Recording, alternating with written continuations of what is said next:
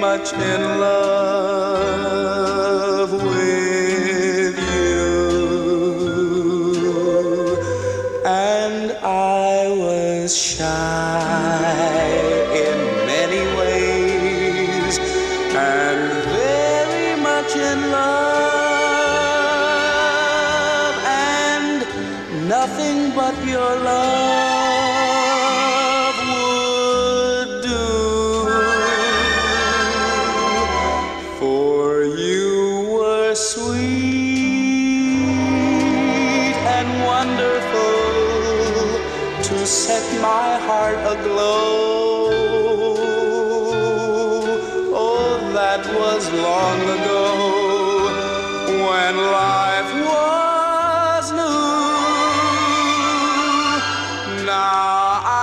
not so young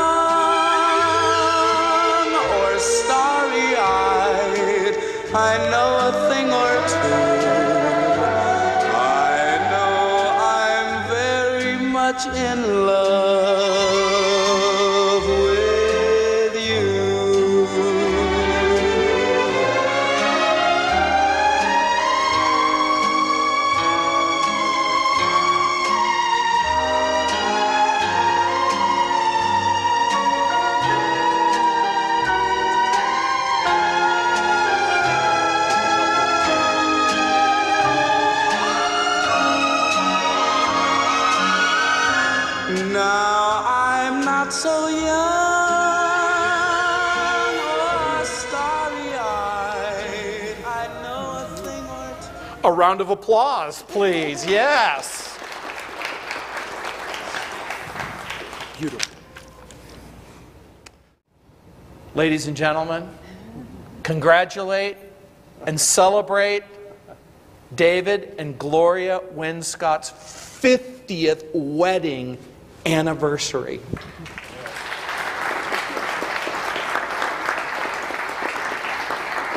James? Oh, and by the way, there's a reception afterwards for fun and fellowship. You know where it is. Take you up in paradise up above. If you would tell me I'm the only one that you love, life could be a dream, sweetheart. Hello, hello again. Shaboom, and hoping we'll meet again. Oh, life could be a dream. If only all my precious plans would come true. If you would let me spend my whole life loving you, life could be a dream, sweetheart. Now every time I look at you, something is on my mind. If you do what I want you to, baby, we'd be so far. Oh, life could be a dream. If I could take you up in paradise up above, if you would tell me I'm the only one that you love, life could be a dream, sweetheart. Shaboom, shaboom, la la la la la la la, shaboom, shaboom, la la la la la la la, shaboom, shaboom, la la la la la la, shaboom, shaboom, shaboom. Shaboom, shaboom. Shaboom, shaboom. Shaboom.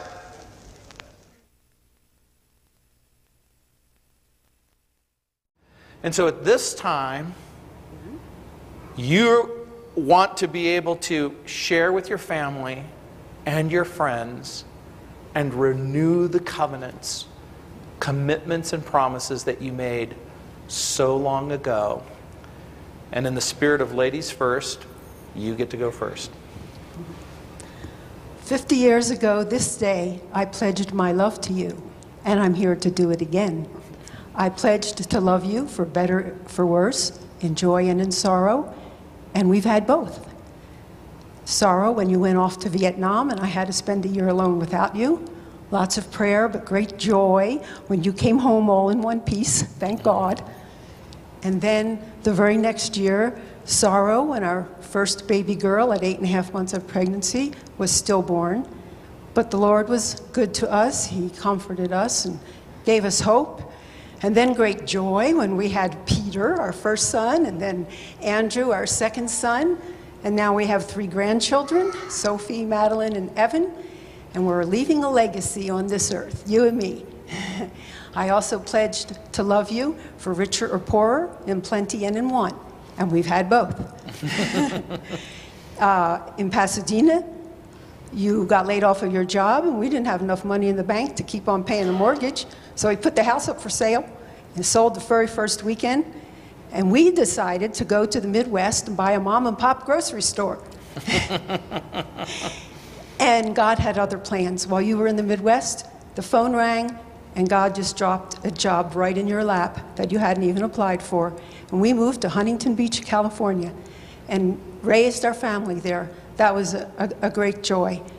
And then I went off to law school, and you were my biggest supporter, my encourager. You were willing to do whatever it took to help me get through and, and, and make it to the end. And that meant so very much to me. And then there were times of plenty, and so the Lord was good. And the Lord knew that I needed somebody like you because I'm the serious stoic, which is why I made a good lawyer, and you're the jokester. And for 50 years, you've kept me laughing, and it's been great. And I also pledged to love you till death do us part. And now, as a mature Christian, I understand that we're never going to part because both of us love the Lord Jesus as our Savior, His promise of eternal life. Best friend forever means forever. And you and I have been best friends and will be best friends in heaven together for all eternity. So we're not going to part, only here on this earth. I have always loved just you. I still do, and I always will, till death do us part. Top that.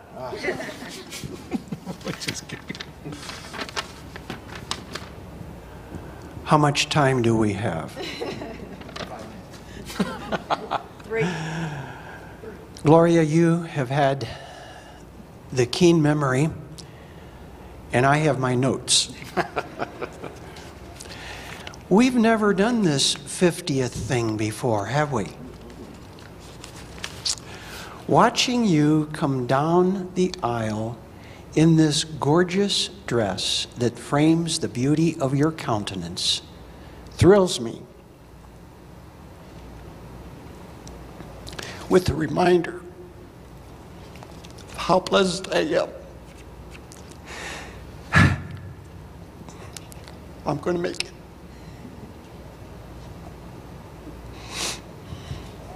Here we are again. And my best friend from college days, Dave Peterson, is standing behind me, thinking he's might maybe have to catch me. He stood with us then, mm-hmm. and he's standing with us now. In retrospect, I can now better understand the goodness and the graciousness of our Lord's hand on my own life. I want to confess that it began on a last Sunday night in October in 1955.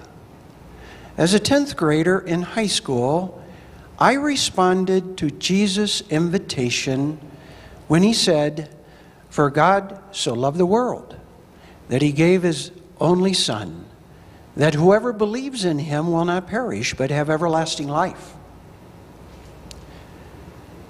My life with Jesus began a journey that 11 years later, on this very date, included you, Gloria. And I can only describe your coming into my life as a spiritual, emotional, and physical serendipity. From then to now, our pathways have included, as you've said, sorrow, and joy. And I'll never forget losing our baby Rebecca at birth.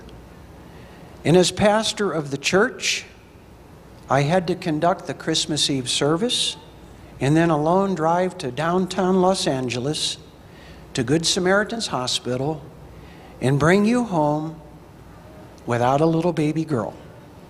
We both wept. That sorrow was soothed by the happy arrival of our two robust sons, Peter and Andrew, followed by the ecstatic joy of three energy filled grandkids Sophie, Maddie, and Evan. You've been and are my wife, my mate, my lover, my best friend, my most trusted critic and advisor, my prayer partner, the best cook I have ever known for the last half century. Our differences have informed and complemented each other, just as our core values have united us. Just the three of us Jesus, you, and me. The description of a wife in Proverbs 31 best describes how I see you. Who can find a virtuous wife? For her worth is far above rubies. The heart of her husband safely rests in her, so he will have no lack of gain. She does him good and not evil all the days of her life. She provides food for her household. She extends her hand to the poor. Yes, she reaches out her hands to the needy. Strength and honor are her clothing. She shall rejoice in time to come. She opens her mouth with wisdom, and on her tongue is the law of kindness. She watches over the ways of her household, and she does not eat the bread of idleness. Her children rise up and call her blessed. Her husband also, he praises her. Many daughters have done well, but you excel them all. Charm is deceitful, beauty is passing, but a woman who trusts in the Lord, she shall be praised. And again, as we did a half a century ago, I, Jules David Winscott, renew my vow on this 50th anniversary of our holy estate of marriage to love, honor, and cherish you, Gloria Ruth Winscott, as long as we both shall live.